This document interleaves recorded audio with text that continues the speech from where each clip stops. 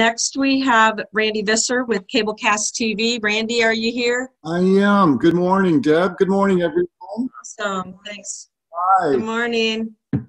Great to join you all. I've been with you all morning. It's been a very successful virtual conference so far, I would say. Mary? Oh, yeah. Thank you. Thank you. Uh, this is, I've been doing a number of these. Yeah.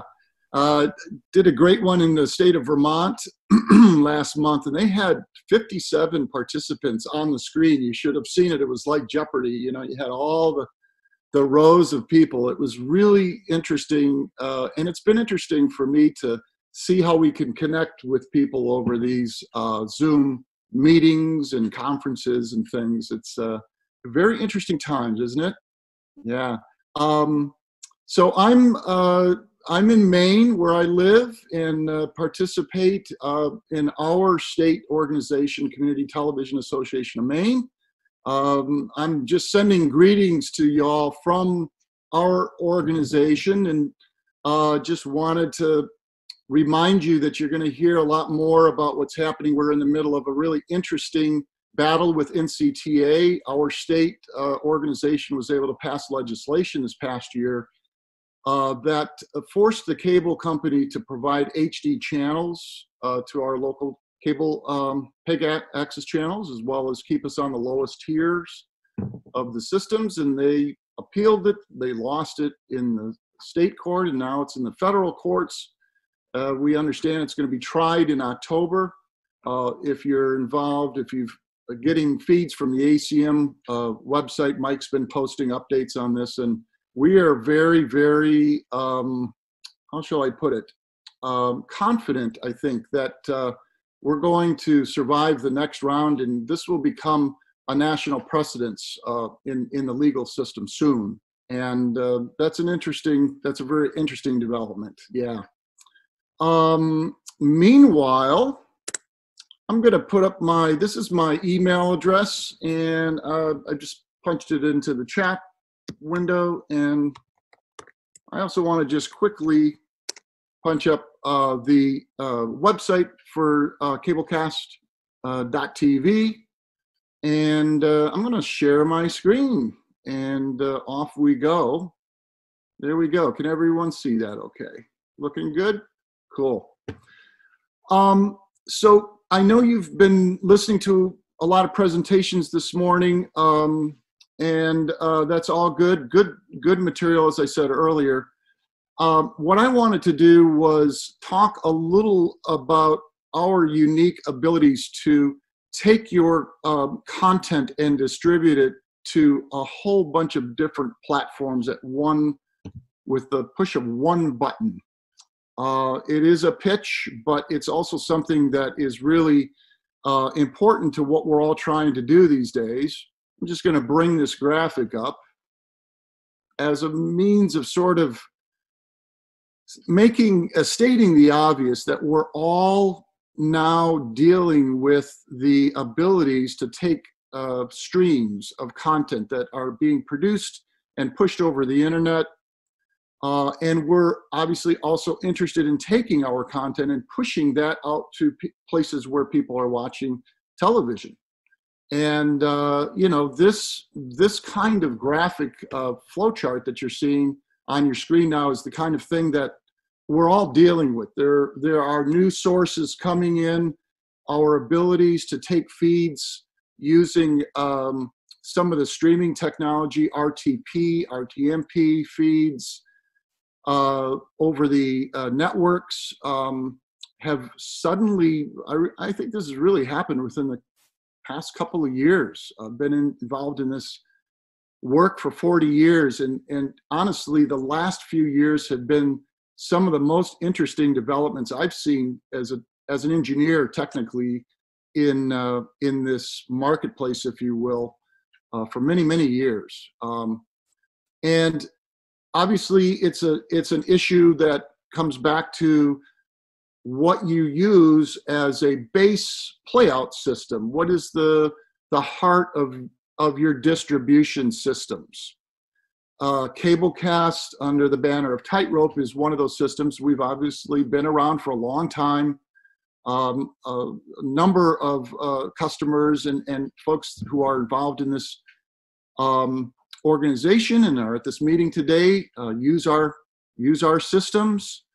Um, and as you can see, uh, we're we're working with a new set of uh, servers called VIO or VIO as we call it. And um, I'll just go ahead and minimize this screen again. Move, got all these little GUI things to move around on the screen here. Um, I wanted to punch up this uh, particular tab. I don't know if Lisa Wolf is still with us, um, but um, I thought I would just quickly show you uh, the public site that uh, Columbus, Wisconsin is using for their content. This, uh, what you're seeing on the screen is a portal that is provided by Cablecast. And essentially, uh, her system is taking in content either as IP streams from town hall, as you can see, or from any site literally out in the community that has access to the internet. They can push those IP streams directly into, into their server uh, and or take baseband video through a router, put it into the uh, server system and make it available through the cable feeds and then over to these new platforms that people are watching television on. The most obvious is the one we all have in front of us. It's a computer or any place that you can get access to uh, the internet. Uh, you could use your you could use your iPhone and dial up a website. And what's important, we think, is the ability for customers to be able to get at this content easily and to have it uh, easy to find content. And then when they push a button to watch something, it works every time.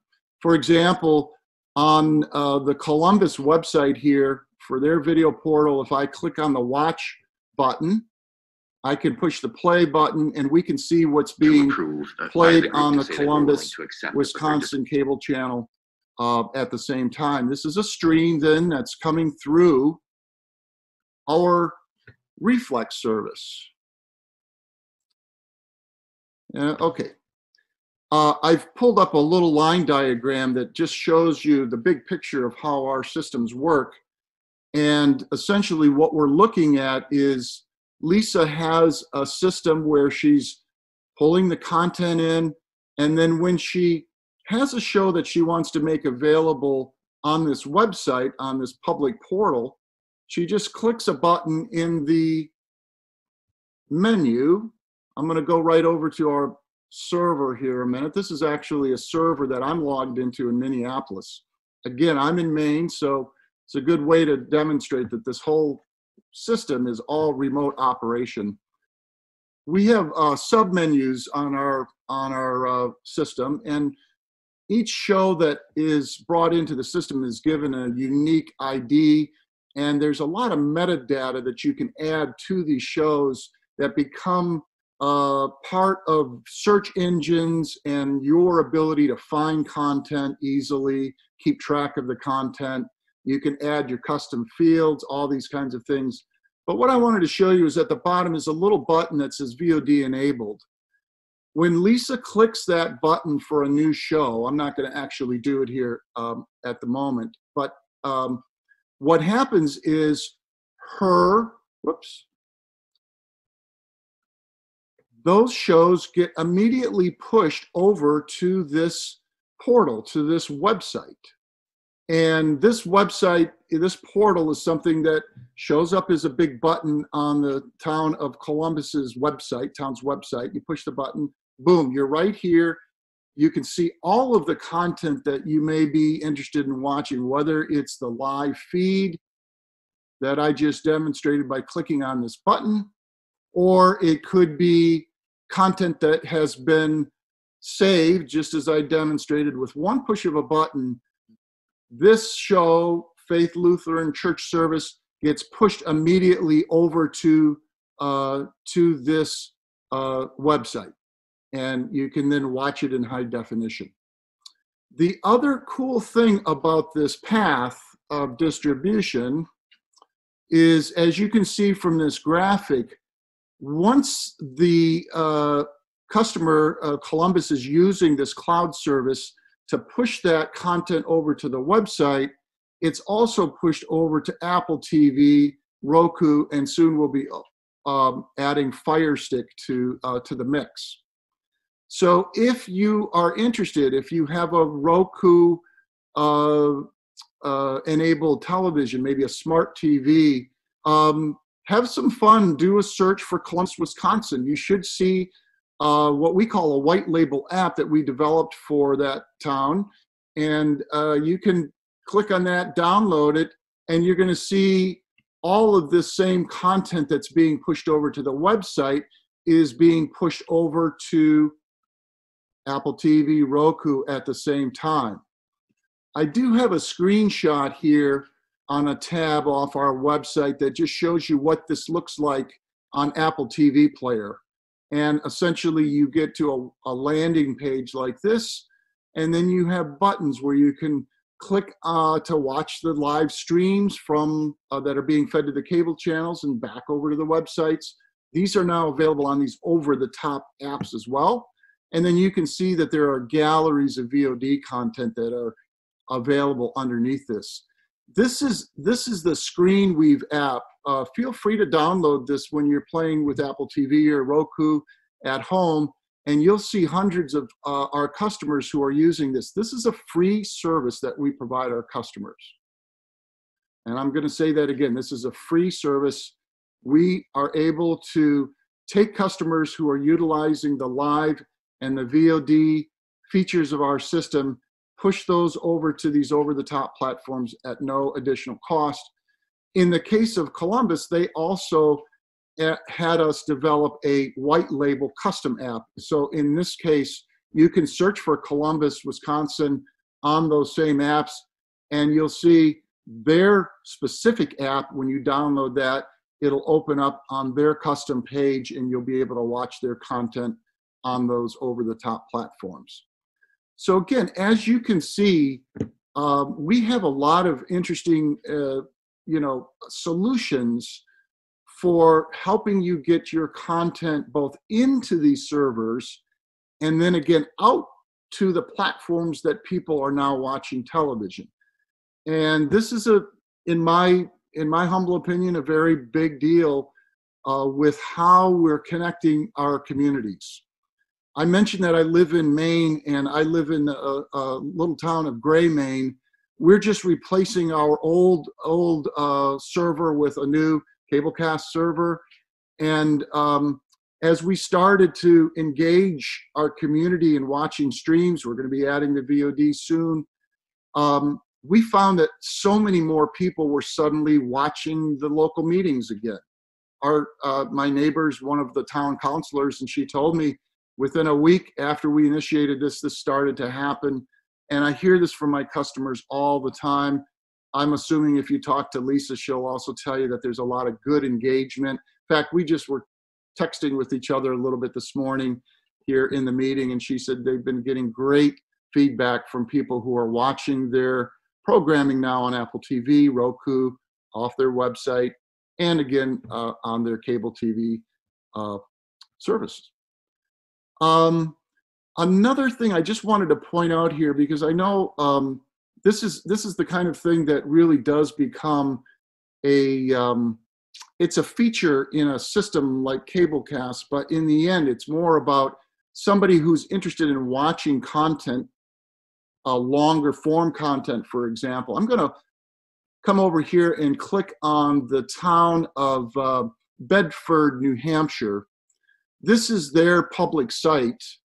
And when I click on one of the VOD sample uh, videos from their site, you can see that their uh, this is one of their council meetings from September. I happen to click on it. You can see you can watch the video here in high definition, but you also have the ability here to jump right to points within the meeting that have been pre-indexed. And this gives you the ability to jump right to, um, you know, a particular part of a show that you may want to watch. Really important when you're working with longer form content like uh, town meetings, uh, sporting events, this kind of thing. All of that can be indexed in real time. Let me just show you. I'll go back. This again is the server that I'm logged into. Uh, so I can go to a submenu that's called um, Internet Video, and I can click on Video on Demand, and I can see the file that we've saved and that we're pushing back to our uh, website. All I need to do is just scrub to the point in this video that I want. I'm gonna have to move this GUI back. And then I can add a chapter mark. And I can call this anything I want. We'll just call it test for the moment. I'll click OK.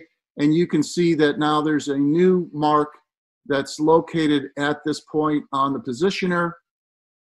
If I hit the retranscode button, that's going to take those marks and drop it right into well i'll go back over to this this is uh, the uh, public site that we're using for our demo server and you can see that um, all of these vod content pieces are available for us to watch if i add an index mark like i just did and hit that retranscode button all of these files get up, updated with those index marks.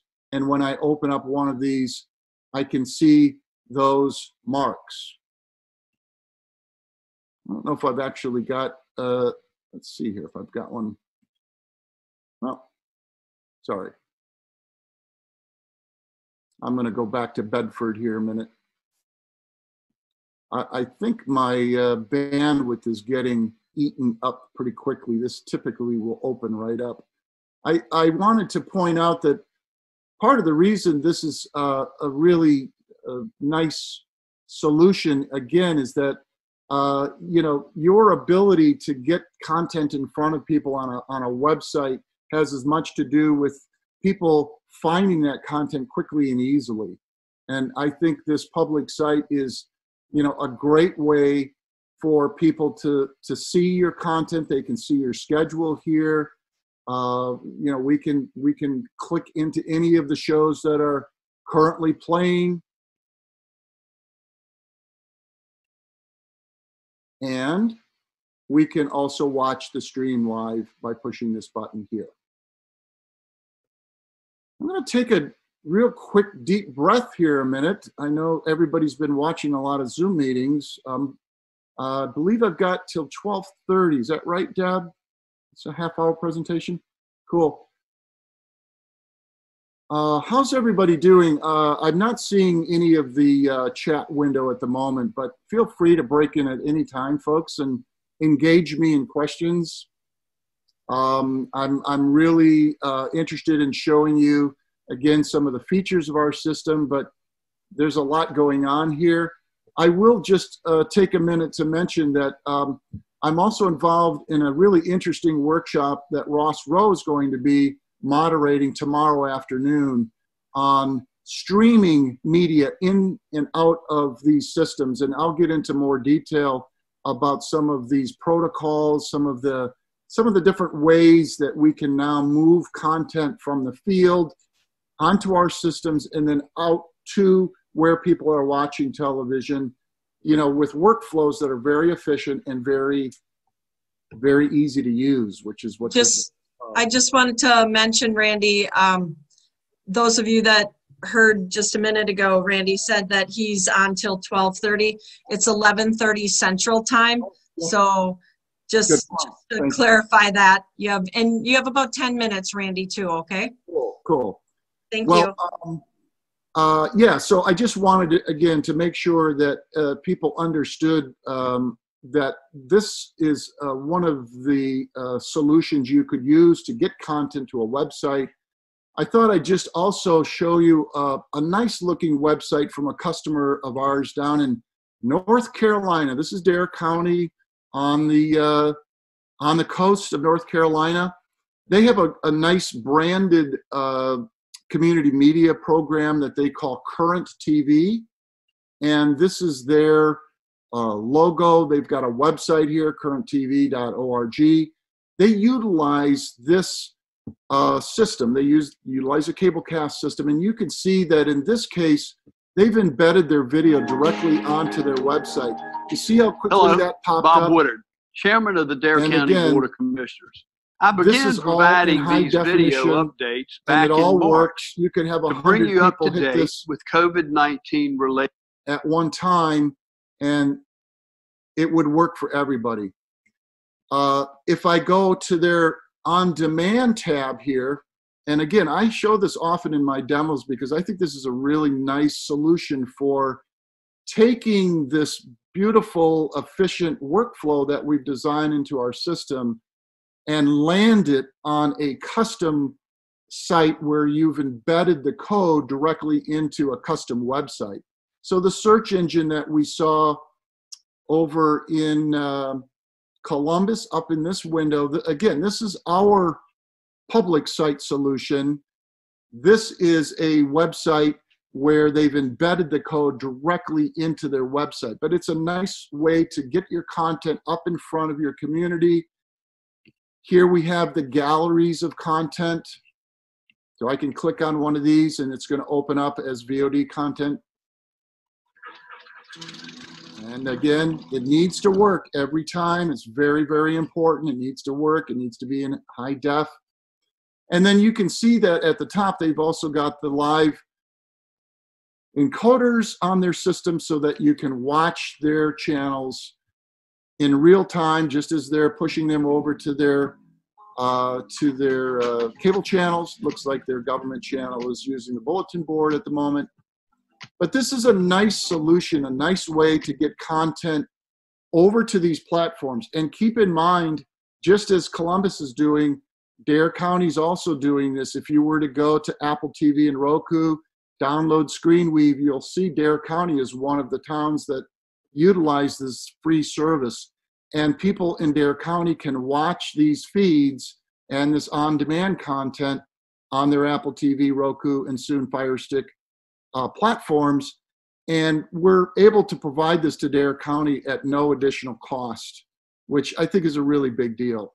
And a lot of our customers are taking advantage of that.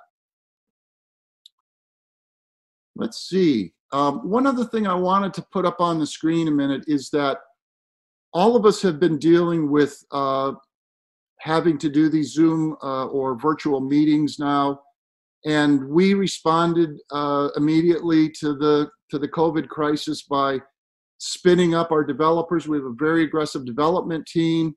Uh, they spun up what's called an RTMP cloud service. So this is one of the protocols that are being used for streaming media. Again, we'll be talking more about this in the workshop tomorrow afternoon that Ross Rowe is is moderating. We'll have, I think, a really interesting discussion um, happening tomorrow. If you get a chance, please join us for that. But um, our solution is called the ScreenWeave Live. This is a service that you uh, purchase uh, by the by the year. We have a three month uh, trial that you can do for 300 bucks, um, just to give it a shot if you need to. If you're looking for a solution, all of your RTMP material, whether it's coming from a Zoom, vMix, um, or other sources, as you see here, are pushed over to a cloud service. And then we take those feeds and send them wherever you want. Send them to your YouTube uh, live stream, your Facebook uh, page, certainly back again to your Cablecast server uh, to be ingested, recorded, and distributed to all of these sites we just looked at websites, Apple TV, Roku, wherever you need this to, to go. There are paths that have been already configured and built into your system so that you don't have to keep logging in and out. And this is one of the things we really feel strongly about. All of the development we do on these systems is really being driven by you folks, your feedback. And one of the things we heard early on in the development, uh, again, this software has been in development for 25 years or more, and we continue to improve it. But one of the big issues is workflow has to be very easy. And the other big thing is support has to be good. So we've really, really focused over the past three years, in particular, on rebuilding our support. It is phenomenal. Talk to any of the customers in your organization that may be using this. I'm going to bet that they'll tell you the same thing. And what's really nice about all of the support is it's free and it lasts as long as you're using our system. You simply put a ticket in, somebody gets immediately back to you, they can log into your server, analyze and resolve any issues you have, and that doesn't cost you anything. In other words, we're there for you.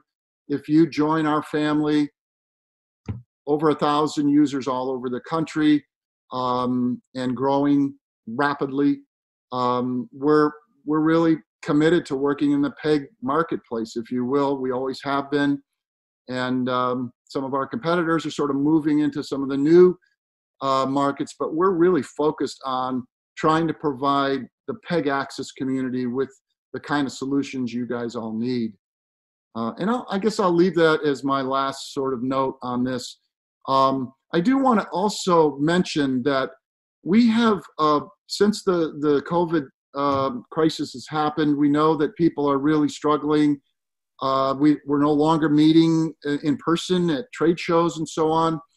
And so we're offering, uh, obviously, the ability to do demos, but we, we wanted to incentivize that a little bit. And if there are customers, or let me say users, members in the Wisconsin Access Media Group that um, are uh, using another system, and would like to learn more about Cablecast, please shoot me an email. And uh, if we're able to schedule a demo, a free demo, obviously, uh, we'll make a $100 contribution to your organization in your in your organization's name. So uh, we've already done a number of these, and hopefully we'll be able to to provide uh, Wisconsin uh, community media organization uh, with some needed extra uh, boost from you know just giving um, us an opportunity to show you what we're doing with this cablecast system so um, it's been great again I, I i think you guys are doing a great job congratulations this isn't easy to do um, i'll be back tomorrow and looking forward to working with ross and others in that workshop and please reach out um, we're here and we we love working with customers we're our headquarters is just across the border in Minneapolis. We've got some great integrators that are working with people in Wisconsin. And I guess I'll leave it at that. Does anybody have questions?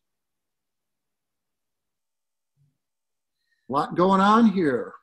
Yeah, you guys are doing a great job, all of you guys. So um, a lot of information. Any final questions or anything? We have about a minute left for Randy. I don't know. Is Lisa still on? I am here, Randy. Oh, thanks, thanks Lisa. Hi.